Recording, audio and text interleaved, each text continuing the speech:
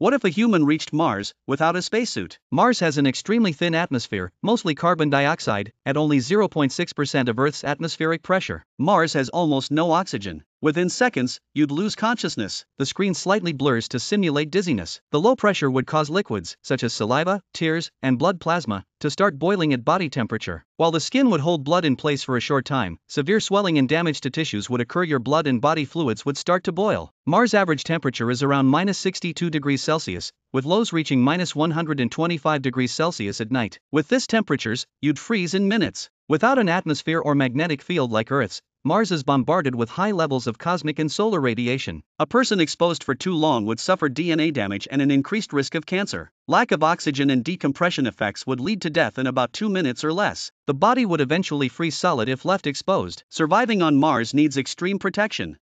Would you travel to Mars if we built a safe base?